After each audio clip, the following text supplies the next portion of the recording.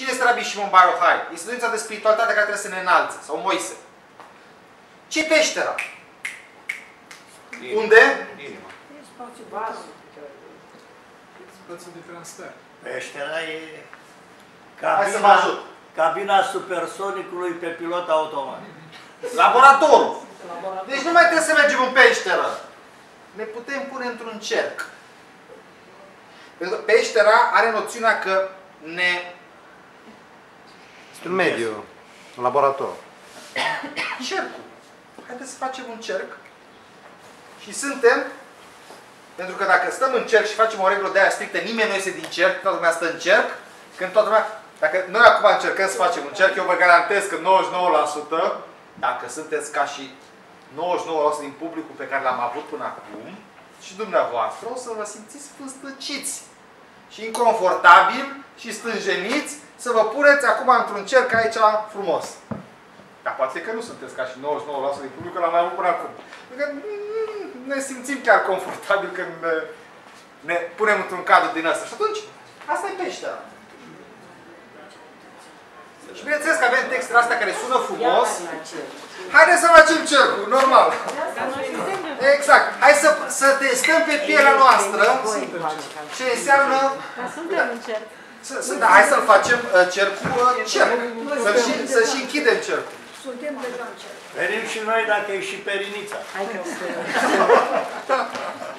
Haideți să facem un cerc pentru că, uh, De simbolic, trebuie să ne... cum să spun, uh, modul ăsta de a preda, eu aici, dumneavoastră acolo, nu e cel mai potrivit. Cel mai potrivit e când ne predăm unul altuia. Și credeți-mă, și dumneavoastră aveți în, dumneavo- în, în interiorul dumneavoastră bastonul de profesor, sau cum să zic, bastonul de mareșal. Și eu chiar vreau să aud mult din înțelepciunea dumneavoastră. Și atunci rog colegii mei, pe doamna Iulia, pe domnul Geo, să vom face un cerc așa și să stăm într-un cerc mare. Cine vrea, adică nu obligăm pe nimeni. Să... Dumneavoastră puteți beneficia de, de, de înțelepciunea cercului care se creează aici. Avem o certitudine, erocința cabalei e mai plină de metafore decât orice altă. Da. Corect. Serios, e Corect. plină de metafore. Două. Tot. Vreau să fac un mic amendament. Nu m-am mulțumit. Ziceți. Trăim în zona unde a fost cea mai veche civilizație de după ultima glaciațiune. Cu asta am spus tot. Deci cabala e foarte bună, dar ceea ce simțim în noi este de fapt un suflu de la strămoșii noștri getodați care ne-au lăsat în zamok. Sunt cea mai veche înțelepciune din această zonă. Eu cu mare plăcere vin la o conferință de dumneavoastră despre Zagorsis că mă pasionează. Există în țara Faceți-o. asta multe conferințe. Trebuie doar să vă duceți acolo unde Corect, corect, corect, corect. Deci, încercăm să construim aici un cerc. Domnul Aleodor, dar ce facem? Uh, nu, nu, se, se face pe aici cerc. Domnul Aleodor, vine lângă doamna Iulia. Fac o Permiteți- mărturisire Da. sinceră. Spuneți. Ne temem că s-ar putea cabala să fie un pseudonim pentru lucrarea diavolului. Da. Și s-ar putea ca fiind în cerc aici unii să leviteze, să se ridice deasupra scaunului să trăgească. Se Deci, știe domnul, că se împielițează, după ce se împielițează, se îmbracă și coie. Da. Dar de asta românească tradițională din Baia Mare. Luat. Bun. Deci avem uh, un cerc, avem pe toată lumea. Asta cerc înseamnă România. România. De ce publicul dumneavoastră, în proporție de 90-99%, este de tipul de care ați afirmat? Reticent se pune în cerc? Da, așa nu se știe. O să vedeți exact după ce pun prima întrebare. Cercul cum funcționează? Este un moderator, de obicei ăsta care vorbește mult, și el e moderatorul și pune... Uh, cred că nu mai avem nevoie de... Avem un moderator care pune o întrebare. Acum, E foarte bine poziționată treaba pentru că o să vedeți o diferență. Avem un cerc care va răspunde. Din cerc vor răspunde. Doamna Tatiana este în cerc, nu? Așa.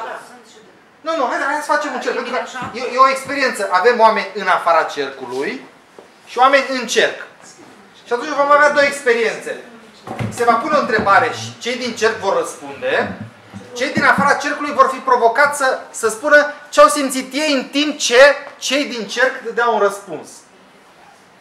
Și vom pune o întrebare ce simt cei din cerc, că alții n-au intrat în cerc. Și cum îi simt pe aceia care n-au intrat în cerc. Mă rog, se pot face o grămadă de, de discernăminte interioare. Ce, uh, domnul uh, Cosmin, poftiți în cercul Întrebarea, nostru. întrebarea. Bun, punem o întrebare. Întrebarea o va pune doamna Iulia. Nu? Doamna profesoară. Bun, atunci pune o următoare întrebare. primul rând trebuie să știm că avem niște reguli în cer. Deci cercul începe de la doamna Iulia, merge, merge, merge și se termină la, la domnul. Da? Cum vă numiți? Ad. Începe la doamna Iulia și merge se termină la domnul Ad. Și fiecare, am închis acum, dar aveți mental cercul, da? Fiecare pune răspunsul lui în centru cercului. Deci fiecare contribuie, pentru că eu am încercat să dau ceva, niște explicații. Eu sunt foarte limitat. Dar acum veți avea parte de 1, 2, 3, 4, 5, 6, 7, 8, 9, 10, 11, 12, 13, 14 răspunsuri pe o temă. De 14 ori mai deștept răspuns decât un răspuns al meu. Chiar 15 răspunsuri veți avea.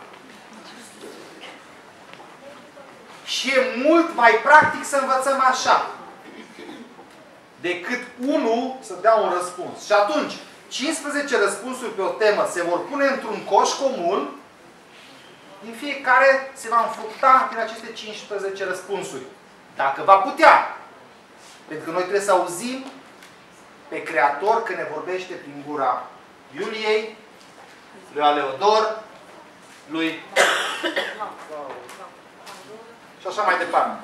Deci ce spuneam aici, teoretic, Creatorul vorbește prin gura prietenului, hai să exersăm. Și prima întrebare este, prima, a fost creatorul ăsta? Cine a fost Prima întrebare este, eu am pregătit niște întrebări? N-am pregătit.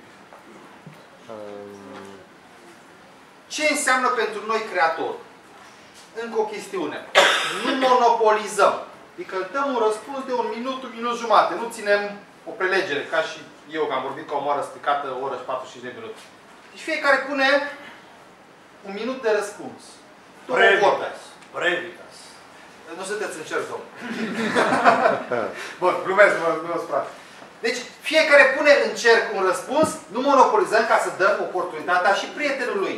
Să dăm oportunitatea lui Dumnezeu să vorbească și prin gura prietenilor.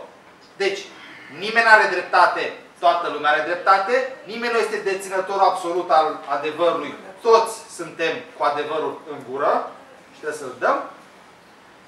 Ce mai trebuie spus din regulile cercului? Ipoteza că Creatorul există. Și trebuie să-l construim între noi în unitatea și conexiunea și răspunsurile dintre noi. Deci aceasta e singura ipoteză de la care se pleacă.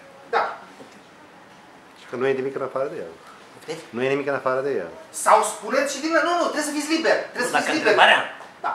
dacă dumneavoastră puneți astfel întrebarea, înseamnă că implică că Creatorul există. Dar fiți liberi să spuneți că nu există Dar dacă nu, asta doriți. Nu, nu comentăm acest Da. Deci, care era întrebarea care vreau pus-o? Ce este creator? Ce este Creatorul? Pentru mine. Sau cine este? Ce este creatorul pentru mine? Hai să fie așa, să fie mai personal. Ce este creatorul pentru mine?